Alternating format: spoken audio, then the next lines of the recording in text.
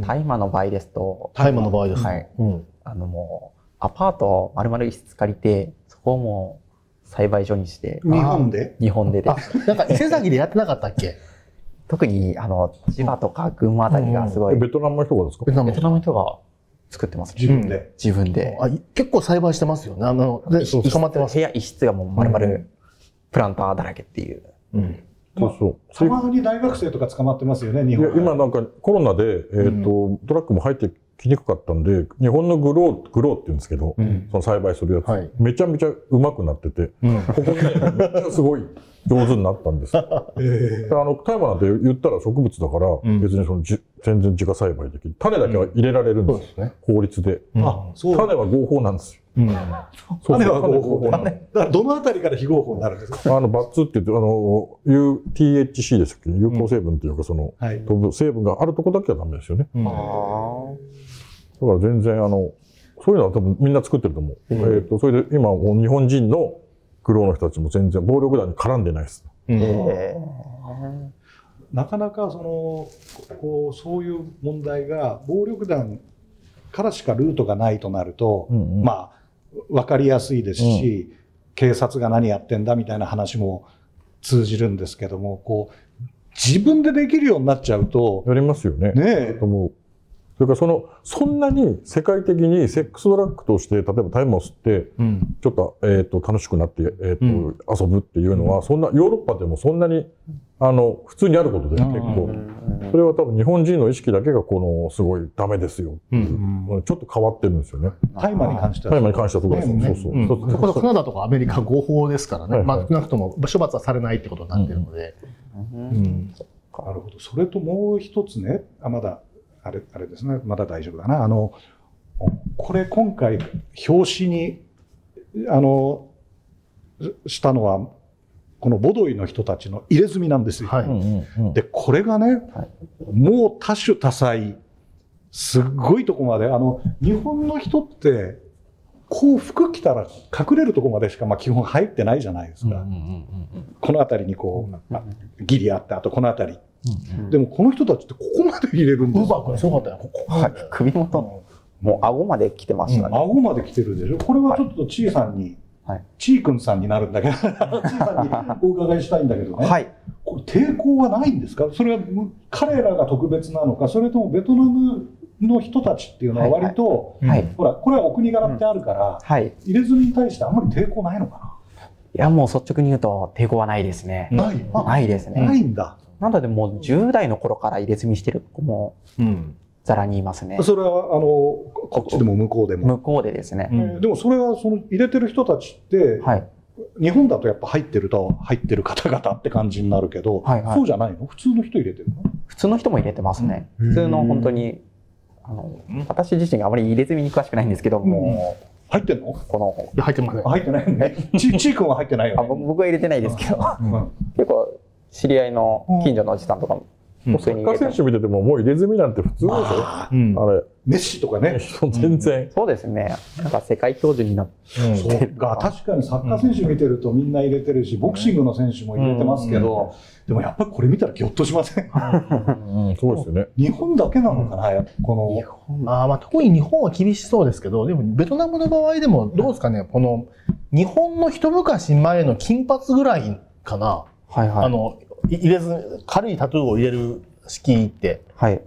金髪、どうなんですかね。結構、もうちょっとちょっと、気合い入ってる？ベトナムの人ですか、ん。ベトナムの人は本当に、なん、なんですか若ね。干、でも若干ちょっとヤンキー入ってる人の方がやるじゃないですか。入れますね。うんこう、なんか、お父さん、あの、父親が入れると子供も入れるみたいな。これもすげえな。そこ は、それは、それはどういう状況なんですか難しいあ話だの、ね。結構家柄入れ墨入れたがるっていう、うんうんあの、家系もありますね。えーでもそれは特に、あんまり周りからはそんなに冷たい目では見られてないんですよ。うんまあ、これそれもお国柄っていうか文化の違いなんですかね。あとさ、ウーバー君の家にいたもう一人の子は、あの、アニメ柄の入れ墨入れてたじゃないですか。はいはい。最近多いですか？アニメ入れ墨。あの、結構その、うん。日本に来て入れ墨入れる子って、うん結構和風の入れ墨、和風もしくはアニメ調のうん。入れ墨を、うん。その、日本での生活に染まってしまったのかわからないですけど。どういう方向に染まってるんだろう。そうそう、これね、あの、テテロップかなんか用意しとけばよかったんだけど、あのちょっと用意してないんで、またあれだけどね、こういうちょっと、これ見てる皆さんにね、ちょっとご紹介したいのは、こういうね、ふざけた入れ墨も入れてるんですよ。あ、まだちょっとぼやけてますね。あ、来た。こういうね、うん。このそう。あの鎧兜を着たにゃんこっていうね、これが一生消えない入れ墨としてね、うん。こういうの入れてどうどうやって言ってるうん。人たちね、はいちょっと僕やっぱり我々から見ると不思議な感じが不思議ですよね。まあ、可愛いからいいんですかね。あの、ちょっと、ここで宣伝入れさせてもらうと、あの、この本は電子でも売ってまして、電子の方はフルカラーで写真載ってるんで、入れ墨が綺麗。それはあの、本の方はどうしても、うん。あの、モノクロなんで入れ墨の良さ出ないんですけど、うん電子の方は、あの、フルカラーでやってもらってるんで、本当にこう、毒々しい、うん。美しいです。ここまでね。そうですね。この、今さっき映った人はまだ白黒なんで、あの線だけの入れ墨だから、まだ白黒でもいいんですけど、もう一人の彼の友達のウーバー君の方は、で、最初この辺だけの入れ墨だったんですけど、なんかもう半年経ってあったらここまで入れ墨入ったんだよね。そうなんですよ、ね。うん、ガチな。で、そのカラー写真が見られます。うんはいはい。はい。会うたびに入れ墨が増えてる。うん。ただ、あれですね、今、あの、鈴木さんおっしゃったみたいに、確かにサッカー選手見てればそんな驚くことはないですよね。やっぱ入れ墨もちょっと日本では暴力団のアイコンみたくなってますけど、うんもともとは職人さんたち入れてたし、漁師さんも入れてたし、うん。まあ、そうね。炭鉱夫も入れてたし、なんていうんですかね、日本だけはちょっと特殊な感覚、うん。入れ墨に関してはですね。あの、ゴルフ場うん。っていうのは、今、入れ墨をしてる人はお風呂入れないんですよ。うん。あの、入れ墨の入ってる方は。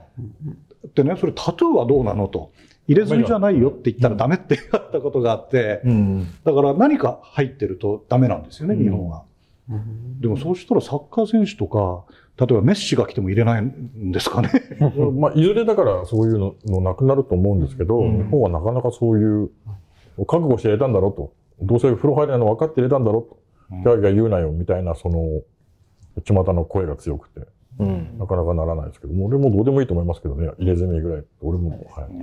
そういえばさ、この前、ちーくんさ、いあの、なんていうか、ベトナム人の入れ墨屋さんに行ってなかった？あ、そうなんですよね。あの、私。1週間ぐらい前に、はいあの、なんか画像が。実は、ちえ君、い入れに行ったんじゃないですよね。はい。これはベ、トナム人の。集う入れ墨屋さんの話からスタートします。はい。え、これ、これも実はあの、私の仕事の一環で、あの、そのお客さんの、まあ、これは、まあ、合法ボドイ、あの本にも登場してる合法ボドイの家に、合法ボドイ。合法ボドイのまあ、家に、一回ボトになったけど、あの、在留資格を回復したというか、特定活動という。不法滞在じゃなくて、はい合法滞在してる。ボドイさん実質的にライフスタイルはボドイというライフスタイルいて。の、あの、お家にお邪魔したんですね。その、うん仕事の終わりで、あの、一緒に誘われて。で、行ったら行ったらで、もう 家の中にもう刺繍のイラスト、あの、サンプルですかね。サンプル写真が入れ墨とサンプル。壁にたくさん飾ってあって。だからそれ、機械彫りの機械売ってるんで、うん。はいはい。でも自分で入れる人って相当器用ですよ。えーとか、若い人に入れるとか、だからまあ、暴力団から彫り師になる人結構うんういてる。ん。一緒だと思います。や見てるうちに多分やりたくなって動くような人で、うん手が先も器用で、えー、じゃあいい、結構糸も簡単になれるもんなんですね。できるんですよ。はい、できるんですよ。え針はどのぐらい深さもう上の方だけですか？で今度インク入れないで彫ってもらいましょうか。やってもらおうやってもらおう面白い なるほど。体験ルポ。体験ルポ。でもまあ、ちょっと、ちょっとさすがだちょっとさすがに。いや、あの、この首に入れてる、ね、あの子、あの、深くファッと刺したらめっちゃ危ないやんと思っー、て危ないですよね、系統めっちゃ首に首に入ったんで。はいはうん。それこそ東映の映画なんか、昔の映画なんかでこう、だとこう、そうそう、ねあの、割り箸の先につけた針をこう、なるほどこのぐらいのね。そうです。であれがこうやるんだねーそうそうそう。となってるクランクで動くっていう。じゃあインクなんかはこうやってつけてや、こう、そこに切ったり。そうです、そうです、そうです。結構、あれですね。だから結構、もしベトナムの人が、えっ、と、タトゥーがすごい好きだって言うんだったら、案外しのぎになるんじゃないかなっていう、りなるほど。はい、気がします。そっか、いい仕事になるんですね。で日本のタトゥーの人、やっぱうまいこともあるから高いんですよね。うん全部仕上げるのに何十万かかるんで。なんかそうみたいですね。そうなんです、そうなんです。うん時間工賃じゃなくて、あの、時間でとお金を取るので。しかもあれ、歯医者と同じで、あいくら根性あっても、一日で全部掘ってくれみたいなこと。だから体が解消できないんですよ。体が持たないって持たない言いますようね。んそうなんですってだ。からやっぱり、1年かけてとか。ゆっくりやった方がいいですよね。はい。なるほど。すごい。ですから、そういうあのー、アアトリエって言ったらいいのか、スタジオって言ったらいいのかわかんないですけど、うん、あスタジオでしょうね。スタジオになるのかな。が結構都内のあちこちにあったり、あとはそれこそ、うん。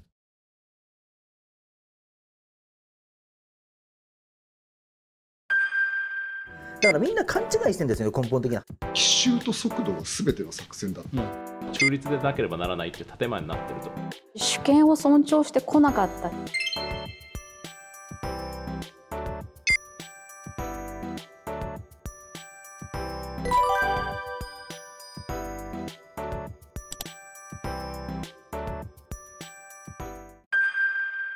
だからみんな勘違いしてんですよね根本的な。奇襲と速度が全ての作戦だ中立でなければならないっていう建前になってると。主権を尊重してこなかった